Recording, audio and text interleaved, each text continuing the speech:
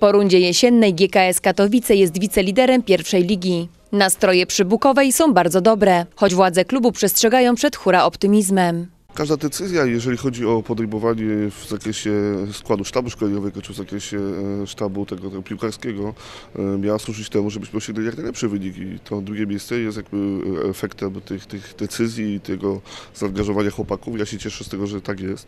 Założenia były takie, że walczymy o jak najwyższe miejsce. Nie, nie zajęliśmy na chwilę obecną tego najwyższego, ale jesteśmy blisko. Można się cieszyć, ale, ale niespontanicznie, spokojnie, bo jest dużo meczy jeszcze i dużo wyjazdów mamy, także z tymi wyjazdami było różnie, ale y, jest pozytywnie. Drugie miejsce to powód do zadowolenia, ale także presja związana z oczekiwaniami kibiców odnośnie awansu do ekstraklasy. To już jest pytanie do chłopaków, jak oni wytrzymają tą presję. Staramy się tą presję z nich trochę ściągnąć.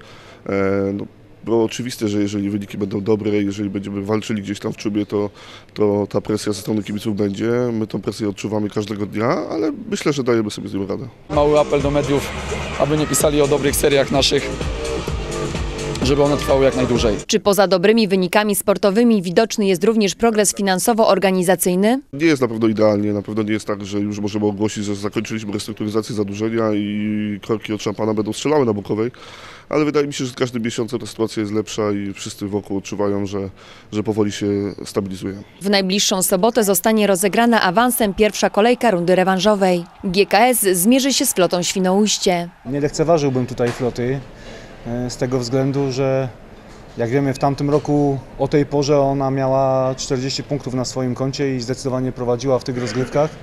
W tym sezonie wygląda to trochę inaczej. Niemniej jednak e, ten zespół ma swoje atuty i, i przez to jest niebezpieczny. Myślę tutaj głównie o, o tym, że, że mają doskonałe mm, stałe fragmenty gr- gry, które potrafią dobrze wykorzystać. Po meczu przyjdzie czas na podsumowanie rundy oraz ewentualne wzmocnienia. Defensywa i środek mm, bardzo pozytywnie. No, brakuje nam takiego strzelca, ale, ale widać, że bez napastnika też można wygrywać mecz. Jest długa przerwa i zobaczymy, wszystko zależy od trenera, bo trener